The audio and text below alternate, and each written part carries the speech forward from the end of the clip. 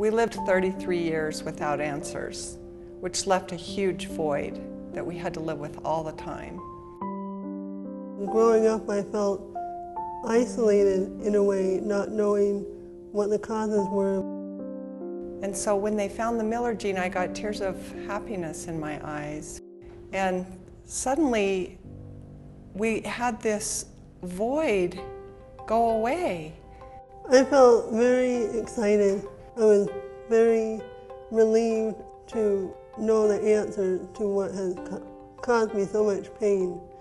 We had answers and an understanding, and that brought us so much peace. I think it's pretty exciting to be the first family to, to have our genome sequenced.